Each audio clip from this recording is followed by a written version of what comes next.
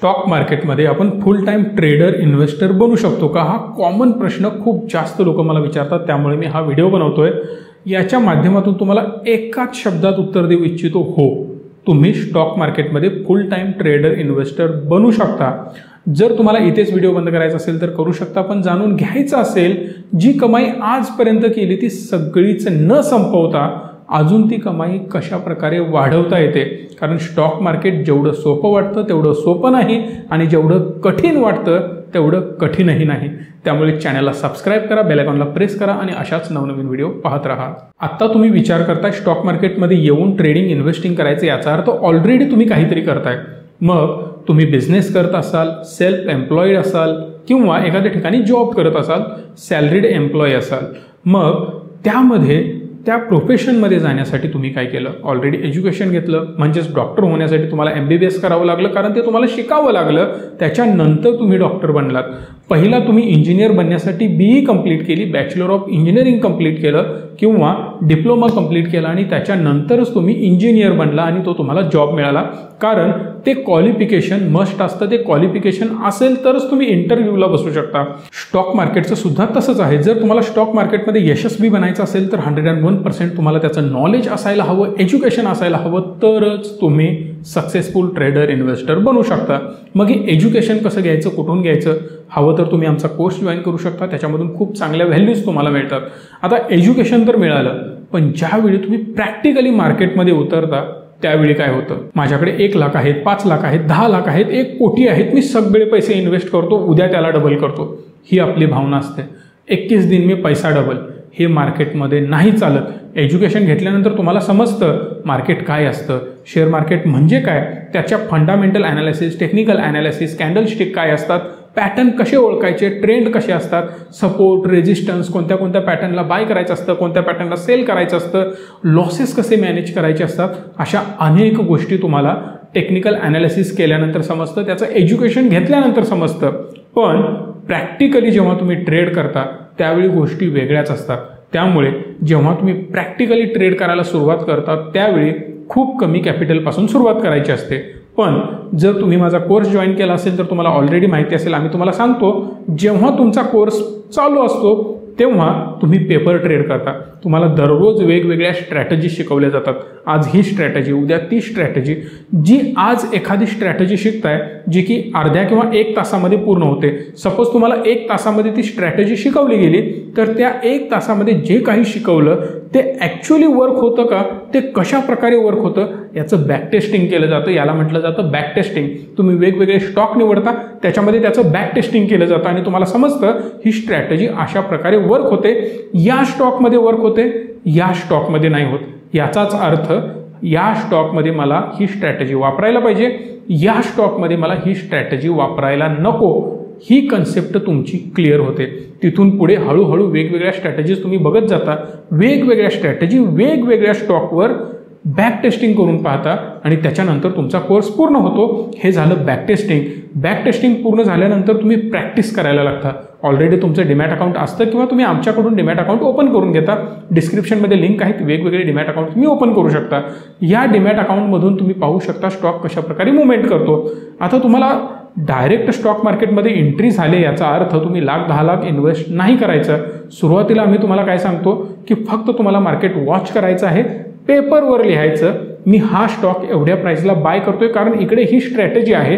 जी मी ही strategy शिकलो होतो ती स्ट्रॅटेजी इकडे मला पाहायला मिळाली. हा पॅटर्न इकडे मला पाहायला मिळाला ही माझी बाईंग प्राईस हा माझा स्टॉप लॉस इकडे मी ट्रेड बनवतोय असं मी पेपरवर लिहितोय. फॉर एक्झाम्पल टाटा मोटरची आता प्राईस आहे सपोज तीनशे रुपये. मी पेपरवर लिहितोय तीनशे रुपयाला मी हा स्टॉक बाय करतोय. तसंच तीनशे पाच रुपये हे माझं टार्गेट असेल आणि दोनशे अठ्ठ्याण्णव रुपये हा माझा स्टॉप लॉस असेल. जे की मी स्ट्रॅटेजी बघून तो पॅटर्न बघून ठरवलेला आहे. दिवसातून पाच दहा ट्रेड असंच मी फक्त पेपरवर लिहितोय ज्याला पेपर ट्रेडिंग म्हटलं जातं. मला वाटतं याची प्राईस वाढणार. मग ती खरंच वाढते का? वाढली तर का वाढली? नाही वाढली तर का नाही वाढली? याचा ॲनालिसिस करायचं. आपली चूक कुठे होते हे समजावून घ्यायचं.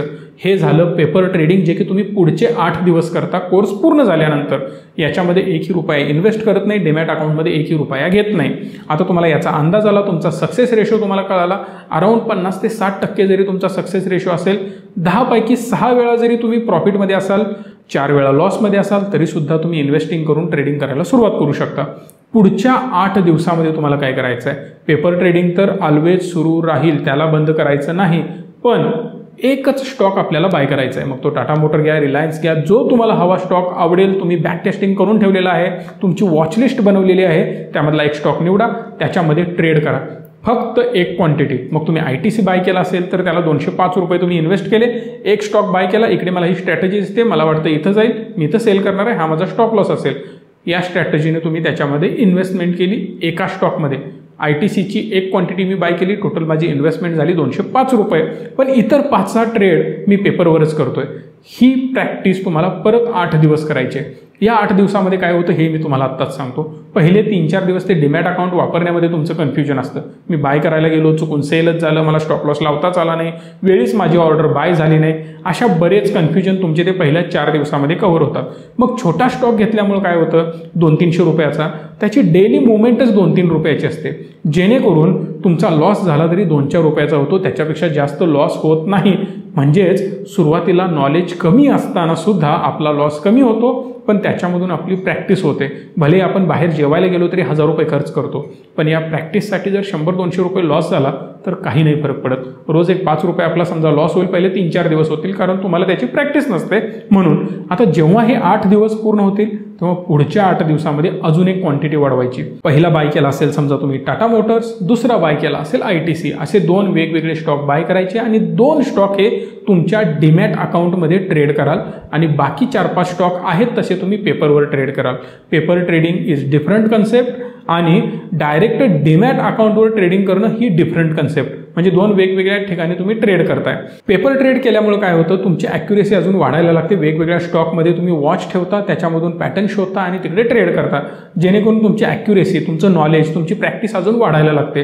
अशा प्रकारे त्याच्या पुढच्या आठ दिवसानंतर तुम्हाला थोडंसं कॅपिटल वाढवायचं आहे स्टॉकच्या क्वांटिटी वाढवायच्या आहेत. याच्यामध्ये काही जण काय म्हणतात? सर मी एकच क्वांटिटी बाय करतोय. ॲक्च्युली मला होणार दोन ते तीन रुपये प्रॉफिट किंवा दोन तीन रुपये लॉस याच्यामध्ये जे काही माझं प्रॉफिट होईल ते चार्जेसच माझे कट होतील. जे ब्रोकरेजमध्येच माझे पैसे जाणार आहेत जाऊ देत ना. पण आपल्याला याची प्रॅक्टिस करायची आहे. जस्ट इमॅजिन तुम्ही पहिल्यांदाच दहा लाख रुपये इन्व्हेस्ट केले आणि एखाद्या ट्रेडमध्ये लॉस झाला तर तुमचे पाच दहा हजार रुपये वीस हजार रुपये तिथेच लॉस होईल. हा एवढा मोठा लॉस करण्यापेक्षा दोन तीन रुपये लॉस होऊ दे. भले आपल्याला इकडे प्रॉफिटची अपेक्षा नाही आपल्याला अपेक्षा आहे सक्सेसफुल ट्रेड बनवण्याची. पैसे आपल्याला आत्ता कमवायचे नाहीत पुढे जाऊन पैसेच कमवायचेत आणि त्यासाठीच आहोत. मी स्टॉक मार्केट हॉबी म्हणून करतोय किंवा माझं पॅशन आहे मी देशासाठी करतोय असं काहीही नसतं. याचं एकमेव कारण असतं की मला याच्यातून पैसे कमवायचे आहेत म्हणूनच प्रत्येकजण स्टॉक मार्केटमध्ये येतो. पुढच्या आठ दिवसामध्ये तुम्ही काय करू शकता? तुमचं मार्जिन अजून वाढवू शकता. समजा तुम्ही तीन तीनशे रुपयाचे दोन स्टॉक बाय करता याचा अर्थ टोटल इन्व्हेस्टमेंट पाचशे ते सहाशे रुपये झाली तर पुढच्या आठ दिवसामध्ये एक हजार रुपये तुमचं कॅपिटल करू शकता. त्याच्या पुढच्या आठ दिवसामध्ये दोन हजार तीन हजार चार हजार पाच हजार असं करत दहा हजारपर्यंत पोहोचू शकता. याचा अर्थ टोटल तुमची इन्व्हेस्टमेंट दहा हजार होण्यासाठी शंभर दिवसांची गरज असते. म्हणजेच तीन महिन्यापेक्षा जास्त कालावधी पूर्ण झालेला असतो ज्यामुळे दहा हजार इन्व्हेस्टमेंट झाली आणि तीन महिन्यापेक्षा जास्त तुमची प्रॅक्टिससुद्धा झाली. एक एक्सपिरियन्स तुमच्या पाठीशी उभा असतो. तुमची प्रॅक्टिस पूर्ण झालेली असते. बऱ्या प्रमाणात तुम्हाला ॲटलिस्ट अंदाज आलेला असतो. प्रॉफिट कसं होतं? लॉस कसा होतो? लॉसेस कसे मॅनेज करायचे असतात? प्रॉफिट कसं राईड करायचं असतं? याचा अंदाज तुम्हाला आलेला असतो. जसं की आपले तीन महिने पूर्ण झालेत पण याच्यापुढे जर तुम्हाला कॅपिटल वाढवायचं असेल तर त्यासाठी मागचा महिना याचा total success ratio sixty percent पाहिजे. आता या महिन्यामध्ये मागच्या गेलेल्या जर तुम्ही शंभर ट्रेड केले असतील दोनशे ट्रेड केले असतील तीनशे ट्रेड केले असतील तर त्या तीनशे ट्रेडपैकी जर तुमचा सक्सेस रेशो सिक्स्टी पर्सेंट असेल म्हणजेच एकशे ऐंशी ट्रेड तुमचे सक्सेसफुल झाले असतील आणि इतर एकशे वीस ट्रेडमध्ये लॉस झाला असेल किंवा दोनशे ट्रेडमध्ये प्रॉफिट असेल आणि शंभर ट्रेडमध्ये लॉस असेल तर मात्र तुम्ही अजून कॅपिटल वाढवू शकता. अन्यथा कॅपिटल वाढवायचं नाही. जोपर्यंत तुमचा सक्सेस रेशो सिक्स्टी पर्सेंट होत नाही तोपर्यंत. समजा तुमचा सक्सेस रेशो वाढला असेल कॅपिटल तुम्ही वाढवत जाताय पण कॅपिटल वाढवल्यानंतर पुढे अजून एक गोष्ट लोक चुकीची करतात ती पण मी तुम्हाला सांगतो. समजा तुमचं टोटल कॅपिटल आहे एक लाख रुपये. दिवसाला ट्रेड तुम्ही करताय तीन. तीन वेगवेगळे स्टॉक तुम्ही बाय करताय किंवा सेल करताय जे काही तुमची स्ट्रॅटेजी असेल त्यानुसार शॉर्ट सेल कराल किंवा बाय कराल जी स्ट्रॅटेजी असेल ती असू शकते. तीन ट्रेडमध्ये तुम्ही पोझिशन बनवणार आहात. यामध्ये एक चूक होते. एखाद्या ट्रेडमध्ये तुम्ही पन्नास ते साठ हजार इन्व्हेस्ट करता आणि एखाद्या ट्रेडमध्ये वीसच हजार आणि एखाद्या ट्रेडमध्ये परत तीस हजार. म्हणजेच अनइवन पोझिशन बनवता. कारण त्याची प्राईस जास्त आहे म्हणून मी याच्यामध्ये जास्त इन्व्हेस्ट करतो याची प्राईस कमी आहे म्हणून याच्यामध्ये मी कमी इन्व्हेस्ट करतोय. असं करून चालणार नाही. जर तुम्हाला प्रॉपर सक्सेस रेशो मेंटेन ठेवायचा असेल प्रॉपर इन्कम जनरेट करायचं असेल लॉसेस मॅनेज करायचे असतील तर मात्र तुम्हाला प्रत्येक स्टॉक सेम प्राईस सेम इन्व्हेस्टमेंटचा घेतला पाहिजे. आता स्टॉकची प्राईस डिफरंट असू शकते पण त्याच्यामध्ये केली जाणारी इन्व्हेस्टमेंट मात्र आपल्यावर डिपेंड असते ती किती करायची? समजा एक स्टॉकची प्राईस आहे दोनशे रुपये त्याच्या जर तुम्ही शंभर क्वांटिटी घेणार असाल तर याचा अर्थ त्याच्यामध्ये इन्व्हेस्टमेंट तुमची होईल वीस हजार रुपयाची. आणि एक स्टॉक असेल दोन हजार रुपयाचा तर त्याच्यामध्ये इन्व्हेस्टमेंट करताना फक्त तुम्हाला दहाच स्टॉक विकत घ्यायचे आहेत. जेणेकरून तुमचे वीस हजार तिकडे इन्व्हेस्ट होतील इकडे शंभर स्टॉक विकत घेऊन इकडे सुद्धा वीस हजारच इन्व्हेस्ट होतील. आपल्याला प्रॉफिट मिळवायचं असतं एक टक्के दोन टक्के मॅक्सिमम दोन टक्क्यापर्यंत आपण इंट्राडेसाठी प्लॅन करतो. पण ऑलरेडी आपल्याला प्रॅक्टिस ठेवायची आहे point five percent to one पर्सेंटमध्ये stock square off करण्याची सुरुवातीला. नंतर तुम्ही प्रॉफिट राईड करून दोन टक्क्यापर्यंत एका स्टॉकमधून प्रॉफिट मिळवू शकता. सगळ्यात शेवटचा मुद्दा हाय कॅपिटल हाय रिटर्न्स मिळवण्यासाठी गरजेचे असतात. तर मार्केटमध्ये बरेच जण सांगतात की पैशाचा विचार करू नका. खूप जास्त पैसे आपण मिळवू शकतो. डेफिनेटली मिळवू शकतो पण तेवढं कॅपिटल तुमच्याकडे हवं. जर तुम्हाला एक कोटी रुपये कमवायचे आहेत आणि तुमच्याकडे अवेलेबल आहे एक लाख रुपये एक लाख रुपयापासून एक कोटी एका महिन्यात दोन महिन्यात सहा महिन्यात वर्षात होऊ शकत नाहीत किंवा एक्सेप्शनल केसेसमध्ये एखाद्या व्यक्तीचे होतात जे की point nought nought nought one percent होऊ शकतं. बाकी करोडो लोकांना एवढ्या मोठ्या प्रमाणात प्रॉफिट मिळवता येत नाही. त्यामुळे मॅक्सिमम प्रॉफिट आपल्याला मिळवायचं असेल तर मॅक्सिमम कॅपिटलसुद्धा पाहिजे. तुम्हाला तो अंदाज आलाच असेल जेव्हा एक सहा महिने वर्षभर पूर्ण होत येतं तेव्हा तुम्हाला समजतं की आपण एवढ्या भांडवलातून एवढे रिटर्न्स मिळवतो. मी दहा लाख रुपये इन्व्हेस्ट केलेत. माझं मंथली अर्निंग एक पन्नास हजार चाळीस हजार होतं याचा अर्थ. चाळीस हजार कमवण्यासाठी मला दहा लाखाची गरज आहे. पण जर तुम्हाला एक लाख मिळवायचे असतील तर त्या प्रमाणात तुम्हाला इकडे कॅपिटलसुद्धा वाढवावं लागेल. जेणेकरून तुमचे रिटर्नसुद्धा वाढायला लागतील. ही एक कन्सेप्ट तुमची क्लिअर होते. आणि हे करत असताना सगळ्यात गरजेचं असतं प्रॅक्टिस आणि पेशन्स हे टू पी मी शास्त्र तुम्हाला सांगतोय. टू पी खूप महत्त्वाचे आहेत. म्हणजेच काय? जी काही अमाऊंट तुम्ही ठरवली आहे आता समजा मला पंचवीस हजार रुपये प्रत्येक महिन्याला गरजेचे आहेत जे की मी एक्सपेक्ट करतोय माझं घर चालवण्यासाठी. ऑलरेडी मला एक वीस पंचवीस हजार तीस हजार रुपये पगार आहे. तेवढे रिटर्न्स जरी मला मार्केटमधून मिळाले तरी मी फुल टाईम ट्रेडर इन्व्हेस्टर बनू शकतो. यासाठी तुम्हाला काय करायचं आहे मागच्या एक वर्षामधलं कॅल्क्युलेशन तुम्हाला करून काढायचं आहे जर ॲव्हरेज तुम्ही तेवढे पैसे कमवले असतील तर तुम्ही मार्केटमध्ये फुल टाईम ट्रेडिंग इन्व्हेस्टिंग करू शकता हे लक्षात घ्या. पण एक वर्ष ॲटलिस्ट कन्सिस्टन्सी याच्यामध्ये हवी.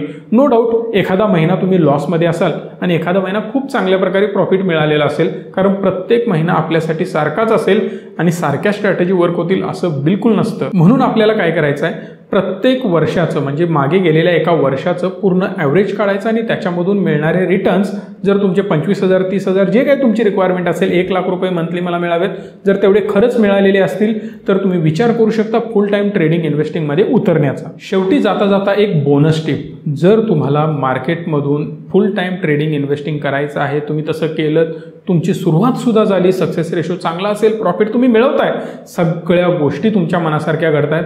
गेले एक वर्ष दोन वर्ष तीन वर्ष चार वर्ष सगळं तुमच्या मनाप्रमाणे चालू आहे. पण तरीसुद्धा मल्टिपल अर्निंग सोर्सेस तुमचे पाहिजेत.